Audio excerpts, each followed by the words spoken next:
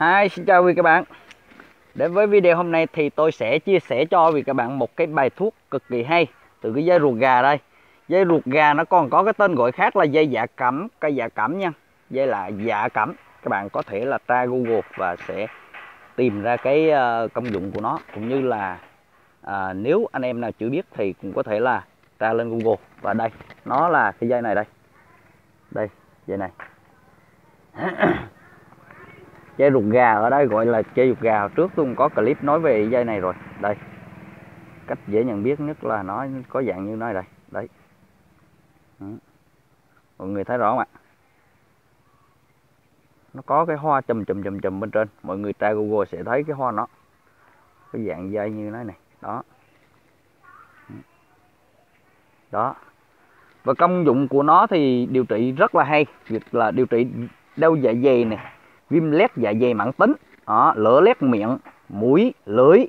Viêm uh, lở lét miệng mũi rồi ấy là cũng điều trị bằng cái dây này. Và viêm hang vị này trào ngược dạ dày.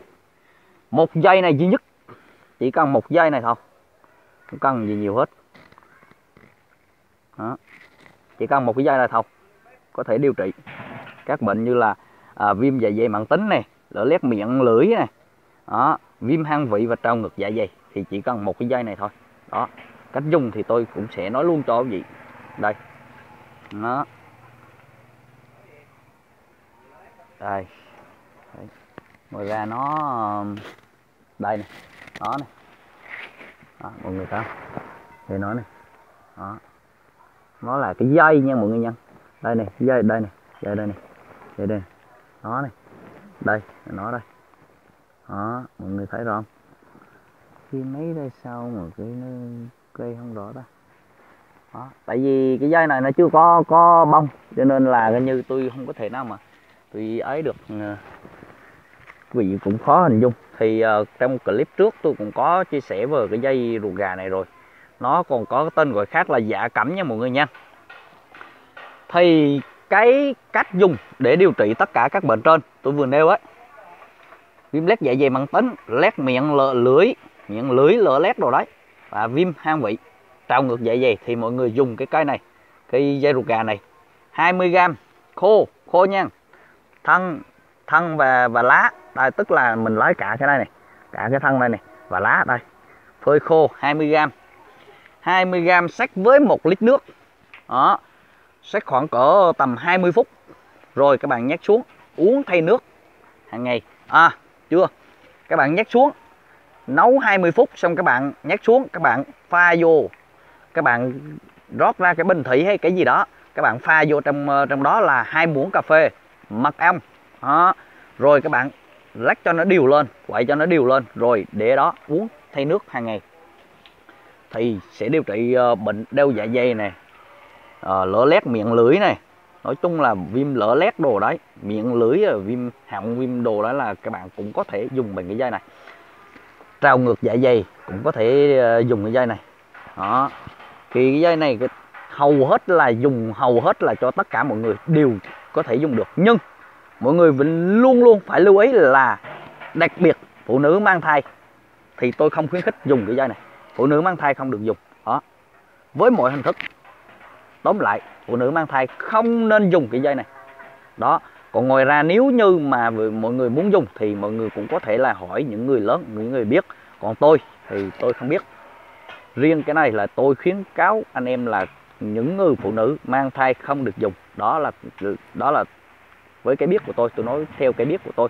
Cái biết của tôi là tôi không khuyến khích những người mang thai dùng cái dây này.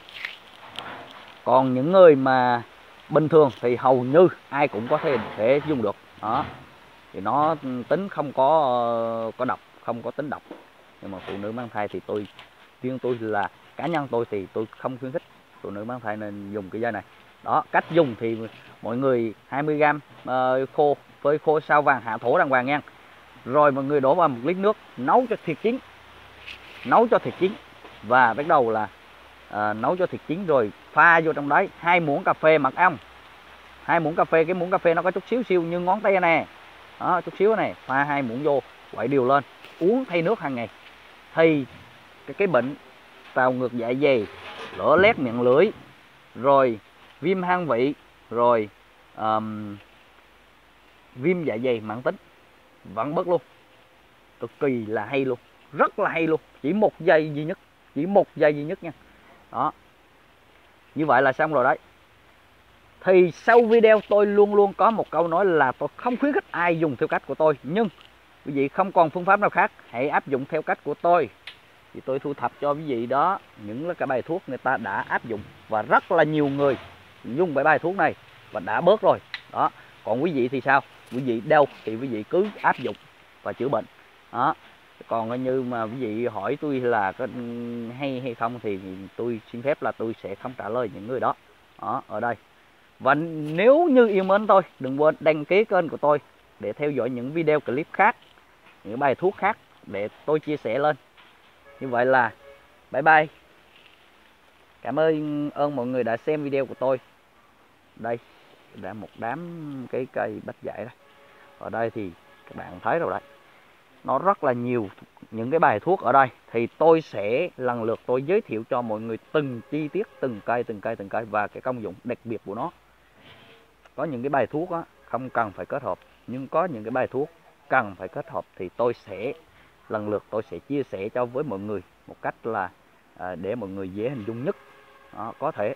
Và theo cái kinh nghiệm của tôi cũng như là cái biết của tôi cái, vì cái biết của tôi nó rất là ít nó rất là hạn hẹp chứ nó không có như mấy mấy vị khoa học kia. Mấy vị khoa học kia thì tôi thua.